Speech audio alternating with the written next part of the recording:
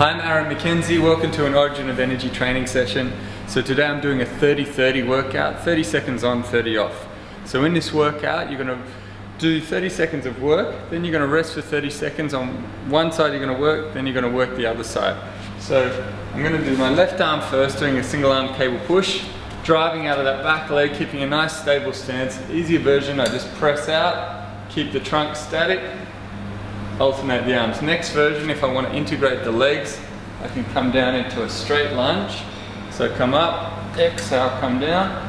Next version, I get a weight shift, drive out of that back leg, load it up, press through, and just get that integration of the whole body, breathing out as I press forward. 30 seconds, 30 seconds rest, then go to the other side. If you don't have a cable, you can obviously just do a stepping lunge on one side, or you can do a stepping lunge with an overhead press, drive up from the front leg, press it up, or you could press under it even.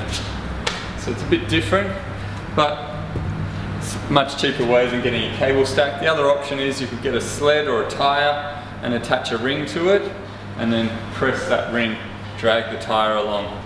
That's kind of a low cost version of a cable as well. Or if you've got a pull up bar, you put the, the uh, grab the ring, pop it over the bar, and then put a weight on the end of that ring like a kettlebell, and then you can press that like you would a cable. So that's a low cost cable system for home if you want.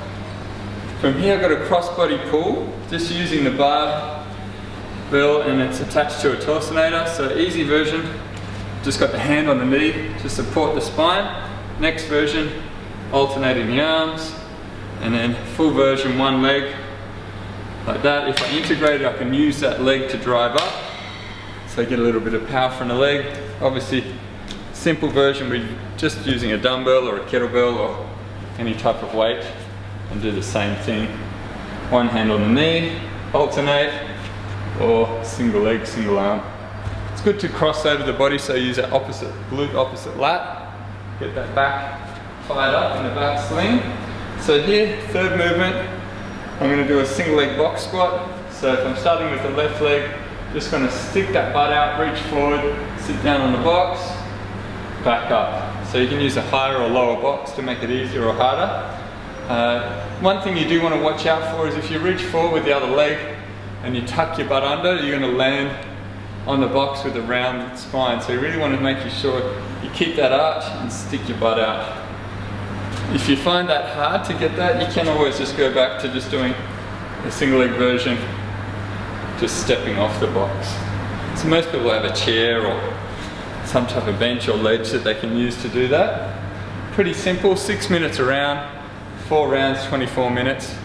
Good workout, because you're working one limb at a time, it's not too fatiguing as you would if you say a double arm, like a double chest press, double bent over row and a heavy squat, then you'd be like on a three minute round on a 30-30 and you get twice the amount of volume, you get eight rounds out of it.